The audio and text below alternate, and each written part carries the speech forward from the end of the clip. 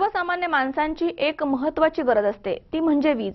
पण वीज उपलब्ध असूनही सर्वांची मोठी गैरसोय होतीये. आंबेगाव तालुक्यामध्ये वीज वितरण व्यवस्था आता रामभरोसे झाली आहे सताट उघडे डीपी बॉक्स.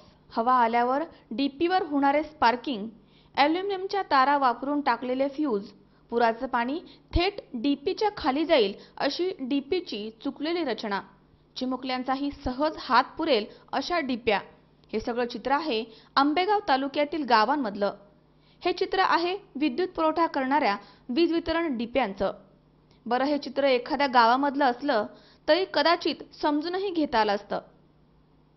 पण जारकरवाडी धामणी पारगाव शिंगवे लोणी वडगाव पीर मांदळेवाडी या सगळ्या गावांमध्ये हे चित्र बघायला मिळत आहे बरं यातल्या बहुतेक डिप्या या गावठाण ठिकाणी अथवा लोकवस्ती जवळपास आहेत.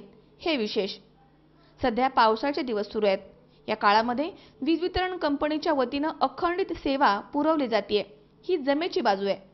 पण वीज वितरण व्यवस्थेचे वाजलेले बारा लोकांच्या जीवावर बेतू शकतात. ही गोष्ट दुर्लक्षित करता येणार नाही.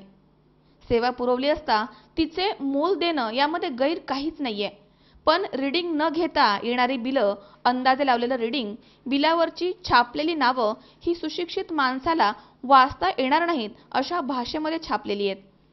या सगळ्या समस्या असतानाही कोणत्याही प्रकारची कुरकूर न करता बिल भरणारे सामान्य ग्राहक हे त्यांच्या या गैरसोयी दूर व्हाव्यात हीच भाबडी अपेक्षा ठेवून आहेत.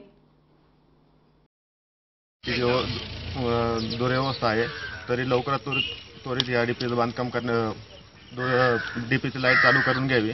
अन्यथा युवासेना शिवसेनेच्या वतीनं या ठिकाणी आंदोलन करण्यात येईल. संतोष पाचपुते सी चोवीस तास पारगाव.